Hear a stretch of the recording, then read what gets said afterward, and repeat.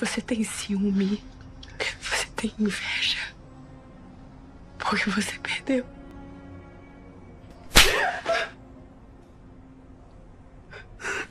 verdade! É verdade! É verdade! Não é verdade! Não é verdade! Não é verdade! Mãe!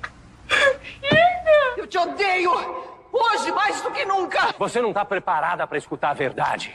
Só para ser adulada. Filhinha do papai e da mamãe. Vaidosa, vazia!